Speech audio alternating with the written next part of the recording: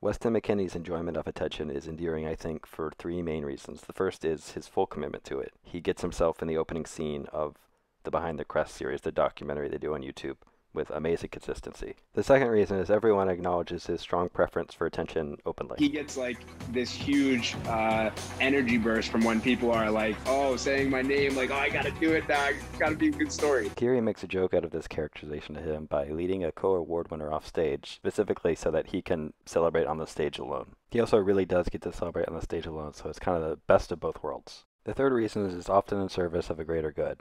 You'll notice he's rating his hand a lot higher than everyone else here. This was right before the Mexico game. Berhalter asked who won a final before, so he's doing it as an extreme expression of self-belief, as like an example to the entire group. He likes attention, but is also leadership.